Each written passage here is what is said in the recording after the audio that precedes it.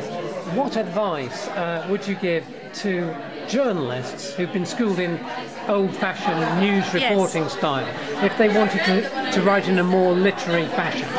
Well, I suppose if you were talking about something like like length, I mean, you know, in a in a short form um, newspaper journalism, your key priority is to get information across and get it across quickly in a way that's not confusing, and you know the kind of adage that you sort of always cut from the bottom when you're cutting a, a, a piece of, uh, of news reporting um, doesn't kind of apply. So you really need, I suppose, to think first and foremost about the structure of something. You need to think how are you going to keep someone interested for four, six, ten thousand words, or however long you're writing. Um, and you need to think about the sensibility. Somebody couldn't read unless you're reading an official report because you have to. You wouldn't read 10,000 words of a piece unless there was something about the voice that was keeping you doing that.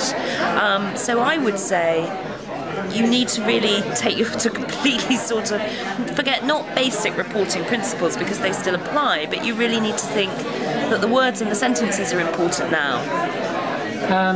If you were to recommend uh, some really good uh, narrative non-fiction um, that we could read and study the style and the approach of that, what would you uh, perhaps go for? I mean, Granta is, is very associated with, with Ryszard Kapuscinski. Yes, and that would be. I mean, he was just an original, and there you sort of had someone who was just determined to kind of witness what was going on, and to, and I would absolutely recommend um, him.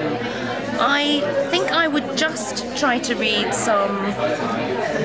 I just try to read some non-fiction. I'm sorry, I'm sorry, I actually don't have names off the top of my Yes, head. I'm not good at it, but I would um, look at some serious foreign correspondence. Um, I would try to read as widely out of your own area of interest in a way.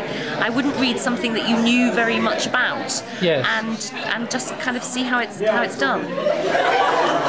Common errors in stylistics in, in, in, on, on that boundary, that interesting boundary between fiction and non-fiction. Yes. Um, common errors. Um, stock phrases.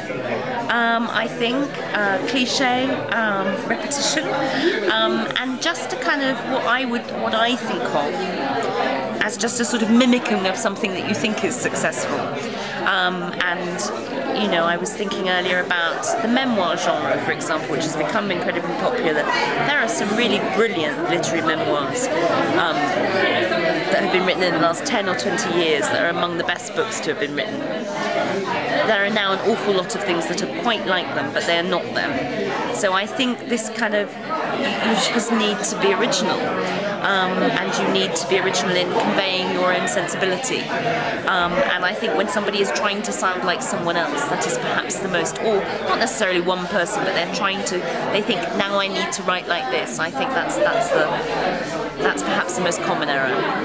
Uh, last question, if I may. Very popular with my students is Yes. what I would describe as gonzo journalism. The Yes. kind of Hunter S. Thompson performance journalism or performance writing, Yes. Where, where the kind of narrative stars yourself, you know. Yes. You know, I go here, I go there. Yep. What do you think about that type well, of that's writing? sort of back a little bit to, what- to, in a way, what I was saying. It was brilliant, but he did that, Yes. and you need to do something else. Um, putting yourself into um, a narrative is not just a matter of kind of saying I did this, I did that. It's about your sensibility too, and I think it's um, it's something that's approached with caution because you have to be really brilliant at it. But I also think there are a lot of different ways of doing it, and I don't think it's necessary to kind of fight shy of doing it. Bring yourself into something. Tell people how you feel, what you thought, what you saw. Um, but remember that the the reader doesn't know you, and you have to. Your voice has to be interesting to them, and and your voice is what they're getting, not you. They're not going to meet you. But I notice in the current issue you have you have Andrew Martin. Yes. He's a brilliant writer, I think. Yes. And very, very funny.